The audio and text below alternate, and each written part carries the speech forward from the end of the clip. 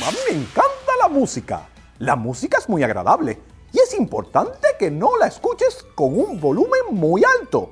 Si escuchas la música demasiado alta, podría causarte problemas en la audición.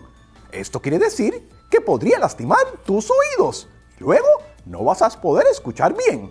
Es importante mantener el volumen controlado, especialmente cuando estás escuchando música con tus audífonos. Un consejo te doy para que te sientas bien. Hasta la próxima.